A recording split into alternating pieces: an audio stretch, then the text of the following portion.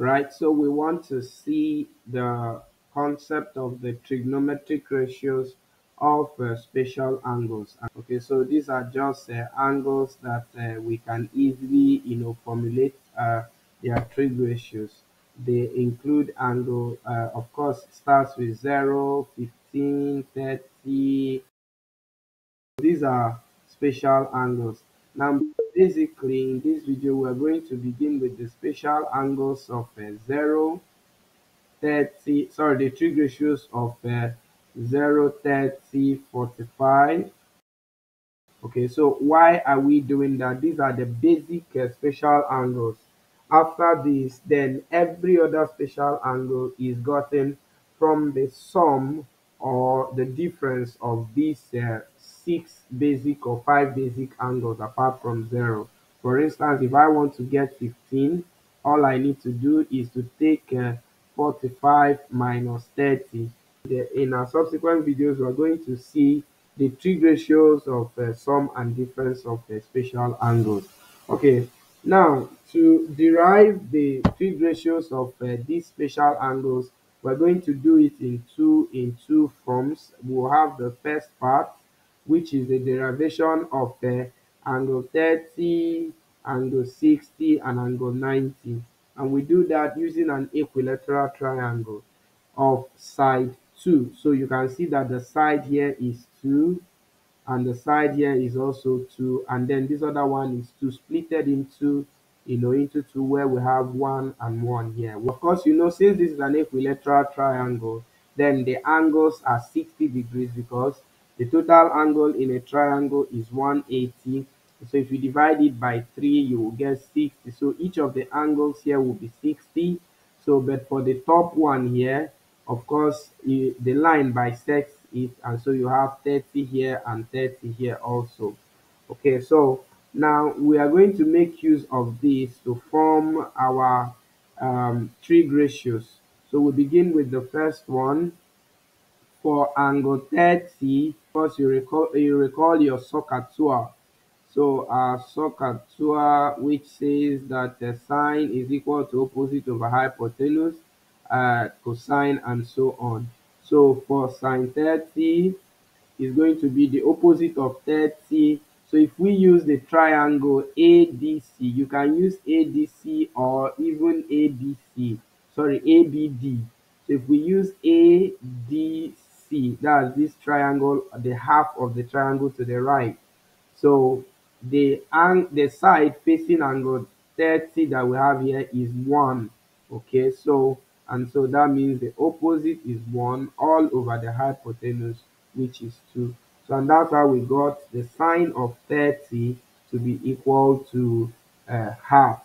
So what about the cos of 30 the cos of 30 is simply adjacent all over hypotenuse the adjacent of 30 is this side here which we do not know. So how do we get that particular side? We are going to make use of the uh, the Pythagoras rule which says that uh, the sum of the two sides that's the opposite and the adjacent is equal to the square of the hypotenuse. And of course this is x squared equal to the square of uh, 2 is 4 minus 1 that's this one coming over. And so our x alone will be the square root of 4 minus uh, 1 which is 3 okay so the x here that's the middle line here is uh, uh, root 3 i can actually write that here. So this is root 3 right so that means our hypotenuse is root 3 all over the uh, sorry our adjacent to angle 30 is root 3 all over the hypotenuse which is 2 and that's how we got this value for our cos 30 and then what about the last one which is the tan of 30 so tan 30 is equal to opposite of 30 which is 1 all over the hypotenuse which is root 3 because if you change all of these to decimals this is going to give you 0 0.5 this is approximately 0 0.8660 and then this one is approximately 0 0.5771 or 774 if I remember maybe I should just stop at three decimal places. Okay, so these are the uh, ratios for angle 30. Okay, so what about the next one? Angle, uh, let's go to angle 60. Okay, so for angle 60 degrees, recall what we did under complementary angles. Sine 60 will be equal to cos 30, that's 90 minus 60, and cos 30 here is this. And of course, if you check it from the triangle, you will still get the same thing. So of course, this is uh, sine 60. The opposite of 60 is root 3. And then when you divide by the hypotenuse, you will still get this root 3 over 2. And what about our cosine? So the cos of 60 will be equal to the sine of 30, which is actually half. If you check it from the triangle, you will get the same. And then finally, the tan of 60 will be equal to the opposite of 60 there is root 3 and the uh, adjacent is 1. So you are going to have root 3 over 1 which is root 3. Alright, so that's for angle 60. For angle 90, we are beginning with tangent in this case. Remember that your tangent is opposite all over, opposite all over adjacent. So, and for angle 90, look at our 90 degrees here. The opposite is 2 all over the adjacent. Now, I'm going to show you that 90 is actually 0. I'm going to show you how it, sorry, is infinity. That's unknown, undefined. And how is this so? The opposite is 2. That's the opposite of this angle 90. Now, what is going to be the adjacent? Remember that this is how it is. So this is the angle 90 and this is our opposite 2. So which of these two sides is going to be the hypotenuse? Sorry, it's going to be the adjacent. So it's undefined. We do not know. So because it's undefined, we can actually call it 0 if we want. We don't know. So and 2 divided by 0, of course, is also undefined. That's why you usually have that tan 90 is uh, undefined infinity. And then what about the sine? The sine of 90 is also the same. The opposite of 90 is 2. And the hypotenuse is also 2. Okay, so now watch what I did here. The opposite is the same as the hypotenuse. Remember your hypotenuse is always constant. That's the longest side facing the angle 90. And in this case, it happens that it is also the opposite of the angle you are referring to. So that's how we have 2 over 2. And that's why if you use your calculator, the sine of 90 will usually give you 1. And then what about the cosine of 90? So the opposite to 90, sorry, cosine is adjacent over hypotenuse. The adjacent is not known. The opposite is 2 and it's also the hypotenuse. So we do not know which of the two uh, sides is the adjacent. So you can actually call that 0 and then put it all over the opposite and that sorry all over the hypotenuse which is 2 and that's how you usually get that cos 90 is equal to 0 so um, and then uh, for angle 0 uh, tan 0 is uh, undefined. Okay so um, this just takes the opposite of uh, this other one. Only tan remains the same. Is undefined. But the rest sorry the tan of 0 is actually 0 so the tan of 0 is 0 the cosine of 0 is 1 and the sine of uh, 0 is also 0 so that's what we do using the right this particular equilateral triangle.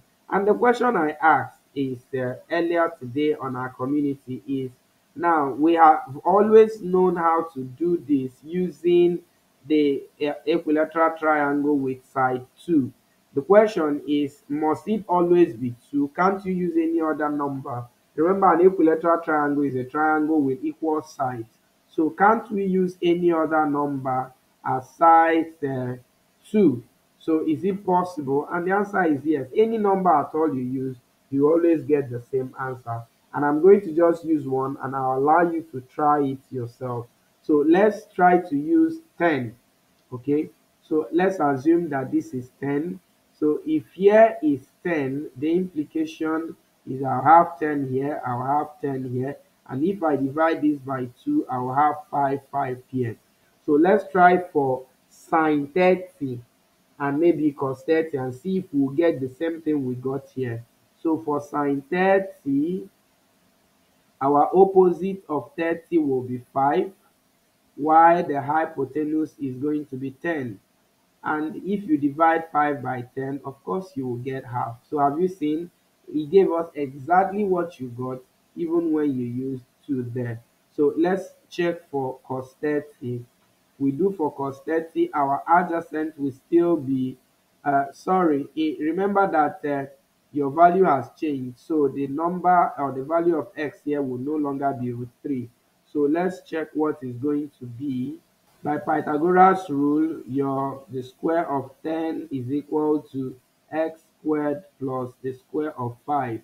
And the square of 10 is 100, x squared plus 25. So that means that x squared is equal to 100 minus 25, which is 75. So x alone will be the square root of 75, which is the same thing as uh, if you simplify that sword, you get 5 root 3.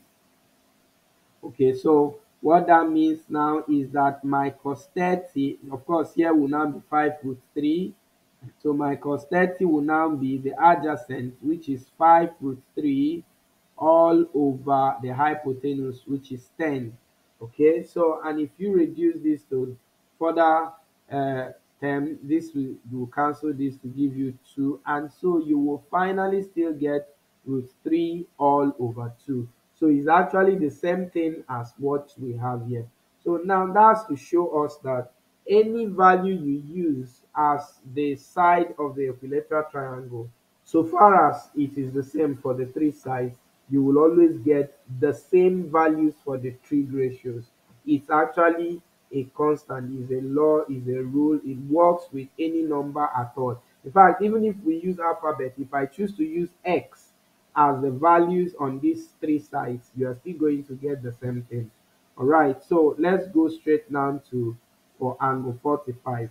So for angle 45, we make use of an isosceles triangle with the two sides that are equal having a, a uh, value of 1. So now the reason why we use 2 here is that it is the least value that will not take us into all the simplification that we did here. So and the same thing is happening here. We are using 1. So you can use 2, you can use 10, you can use 100. You will always get the same answer. Right. So how what's going to be the value of this hypotenuse is going to be the root of 2. Remember that that hypotenuse squared will be 1 squared plus 1 squared.